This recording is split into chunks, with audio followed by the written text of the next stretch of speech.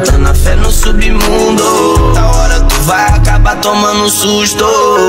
Olha o caminhado, elemento, é o passo bem lento. Vai fechando o tempo, canhão, faca na cintura. Disposição pra tombar duas viaturas.